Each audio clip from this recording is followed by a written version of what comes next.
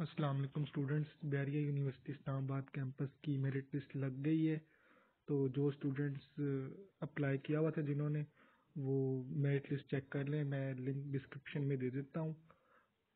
Students, आप जल्दी जल्दी अपने डॉक्यूमेंट्स अपलोड कर दें, वरना आपकी सीट किसी और को मिल जाएगी। तो आपकी सीट खतरे में है, इसलिए जल्दी जल्दी ये करें। हो सकता है आपका नाम आया हो। Thank you.